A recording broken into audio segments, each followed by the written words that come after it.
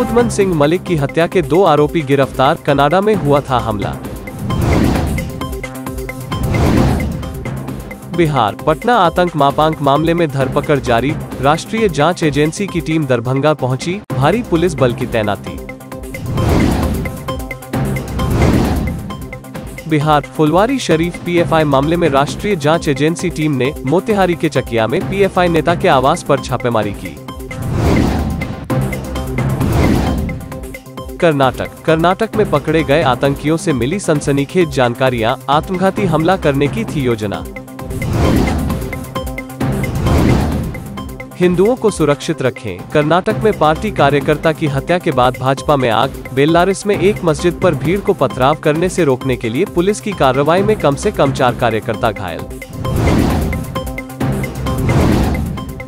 हैदराबाद की ये दो बहनें आपस में सिर से जुड़ी है। तमाम चुनौतियों के बावजूद उन्होंने बारहवीं बोर्ड के रिज़ल्ट में शानदार प्रदर्शन किया। प्रवीण हत्याकांड। कर्नाटक के मुख्यमंत्री के राजनीतिक सचिव ने दी इस्तीफे की धमकी। प्रवीण के हत्यारों के खिलाफ कार्रवाई की मांग वाली याचिका के साथ मुख्यमंत्री बसवराज बोमई से मुलाकात के बाद रेणुकाचार्य ने यह बात कही। मध्यरात्रि में बोम्बई ने वर्षगांठ समारोह रद्द कर दिया कमांडो फोर्स की स्थापना की। मनकी पॉक्स वैज्ञानिकों ने खोज लिया है मनकी पॉक्स का ज़िंदा वायरस टेस्ट किट बनने का तरीका इलाज और वैक्सीन होगी आसान। भारत में पिछले 24 घंटों में कोविड 19 के 18,313 मामले आए और सत्तावन लोगों की मौत हुई सक्रिय मामले घटकर एक लाख पैतालीस हज़ार छब्बीस हो गए। दिल्ली से मेरठ रैपिड रेल दिल्ली से मेरठ करीब 80 किलोमीटर दूर है। इसमें अमूमन दो से तीन घंटे का समय लगता है, लेकिन क्षेत्रीय रेल की मदद से अब यह सफ़र एक घंटे में पूरा हो सकेगा।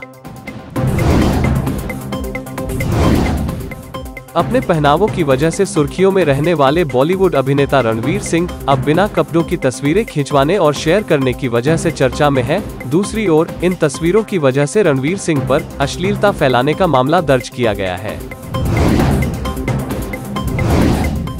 मानसून सत्र। गांधी प्रतिमा के सामने रात भर चला निलंबित सांसदों का धरना, कई मच्छर काटने से हुए परेशान।